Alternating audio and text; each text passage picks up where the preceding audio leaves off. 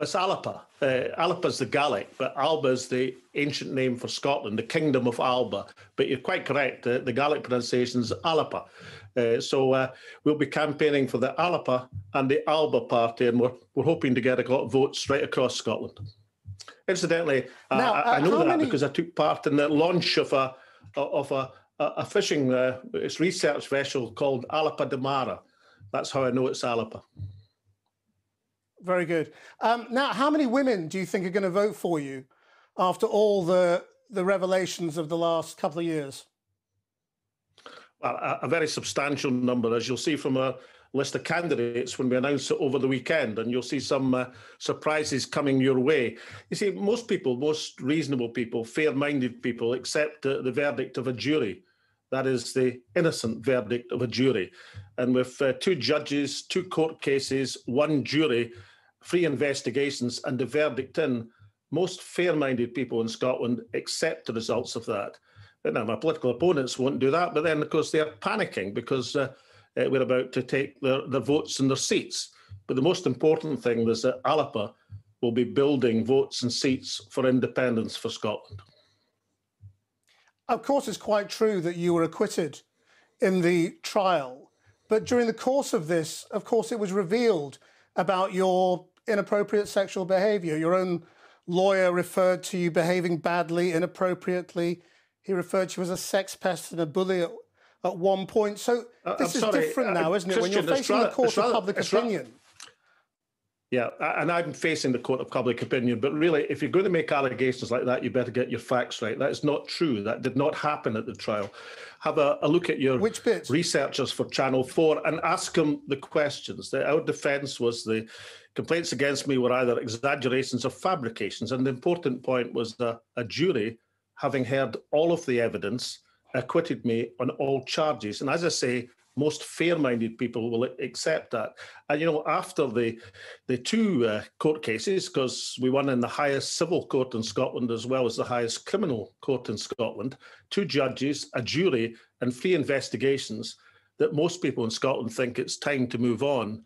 And I certainly want to move on to the issues that matter to men and women in Scotland. And that's what Alapa is going to do. And you'll see by the support that we rally behind us that the vast majority of people will, will share that opinion. The one thing I can say about Alapa's campaign is that we'll be positive and contribute to a positive political debate. You won't hear a word out of any Alba or Alapa party candidate anything negative about Scotland. We're not even bothered about our political opponents. We're interested in building a super majority for independence in the Scots Parliament. We have the opportunity to do it, and we're determined to seize it. Yeah, I mean, and, and that's fine. We'll get on to the specifics, but there is still a question over whether you're going to apologise to the women concerned. And your lawyer did refer to your behaviour as bad and inappropriate. He was overheard on a train referring to you as a as a sex pest. Nothing I said there was untrue. So I mean, th- this is going to well, face you on the doorstep when people know, you knock on a door and and talk to people. They're going to ask you about this stuff. So what's your answer to? Are you sorry to those women? But as you should know, Krishnan, uh, the Gordon Jackson put out a statement denying that he'd ever regarded me as any such thing. So let's have a fair report. But you know, look, media, political opponents, fair-minded people in Scotland respect the verdict of a jury. So if you've got a beef with it, then take it up with the jury. Most of us want to move on to talking about constructively about Scotland's future. Okay, so you're not sorry, but let's talk about working constructively. If you get into the Scottish Parliament, are you going to vote for Nicola Sturgeon to be the First Minister? Well, given that we support independence for Scotland, it's highly likely that we'll uh, support the candidate who wins the, the most seats on that platform. That's what uh, Alba Alapa is de- designed to do to further the cause of independence for Scotland. Uh, remember, these are two different things. I mean, I became First Minister of Scotland, and I think, if I remember correctly, 49 votes out of 129 uh, in the Scots Parliament, because I had more than any of the others. But it looks like the SNP will sweep the boards on the constituency section of the of the Scottish Parliament. I welcome that. But it also looks certain, or very likely, let's put it that way, despite garnering a million votes potentially on the list, the regional list section, they won't get a single seat Now, that is the opportunity. That's potentially a million wasted that, independence votes. Why do you say that? And Alba, Alapa can fill that because that was the Survation poll of, yesterday, which had the SNP on 39% in the regional list. And the projection was they would not get a single regional list seat because they were getting 67 seats on the constituency section. That's how the proportional system works in the Scots Parliament and gives uh, Alapa an opportunity to fill that void in the independence cause. Well, what's the political difference between you and the SNP? What do you disagree with Nicola Sturgeon on? Well, uh, in terms of the independence construction, I think it is this that I think it's not the best idea to present independence as the prime minister against the first minister because it allows the, the Tory party to say this is an SNP obsession. Uh, it's something that only the SNP puts forward. I think it'd be immeasurably stronger a position to include the Parliament and the forces supporting independence in the Parliament in the independence case and the independence negotiations, because then you place Boris Johnson in the position of not taking on a single political party, the SNP, but taking on a parliament representing the people of Scotland. And I think you'll find that a much more difficult and a much more uncomfortable position, Apart and one, one that's difficult party. to say no to. Well, the, if there's the, the, difference? the difference would be if there's that supermajority in the Scottish Parliament. Listen, I would have loved between, for example, the years 2007 no, politically, and 2011, what's the political difference between able you and to SNP? negotiate.